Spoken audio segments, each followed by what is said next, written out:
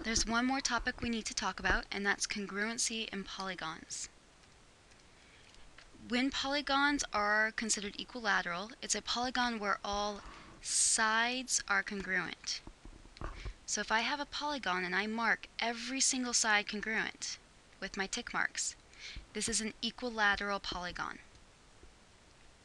Equiangular, notice our angular is a polygon where all angles are congruent.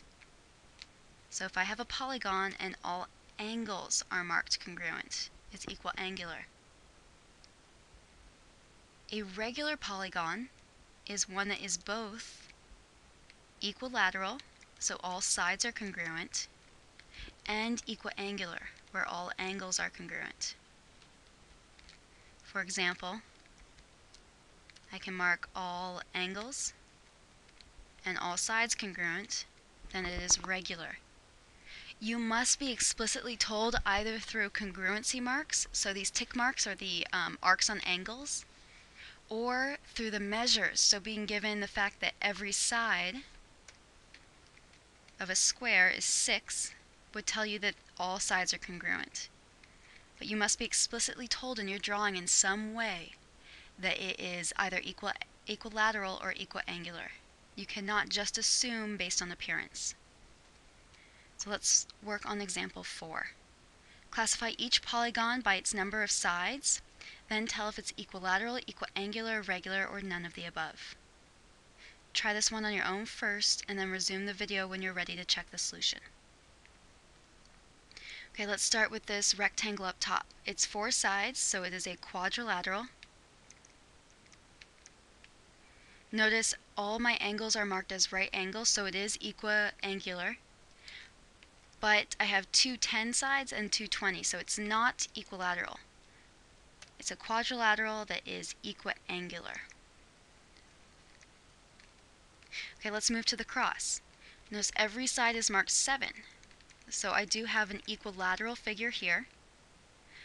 But not all the angles are right angles. I have these big angles in the middle here that are actually 270 degrees. Notice it doesn't matter that the outside is a right angle, we're concerned with the angles on the inside. The cross is also a 12-sided figure, so it's a dodecagon. And it is equilateral because its sides are congruent. Okay, how about this triangle? Each angle is marked as 60 degrees, so all of my angles are congruent. All of my sides are marked congruent with these tick marks. And since it's three sides, it is a triangle. It is both equilateral and equiangular, which means it's regular. We have a regular triangle. Okay, our figure in the middle. We're told each side is 10, which means all of these sides are congruent. This makes it equilateral. The arcs here, the single arcs tell us that all the angles are congruent, so it is equiangular. If it's both, then it is a regular figure and since it's five-sided, it is a pentagon. Okay, let's look at the upper right. Notice these two angles have double arcs, whereas these angles have a single arc with a dash through it. So not all four angles are congruent. This is not an equiangular figure. But all of the sides have double tick marks. So all the sides are congruent. It is equilateral and it's four-sided, so it is a quadrilateral. It is an equilateral quadrilateral. Lastly, we have a six-sided figure here. We have a hexagon. None of the sides are marked with lengths, so I'm not going to assume that they are congruent.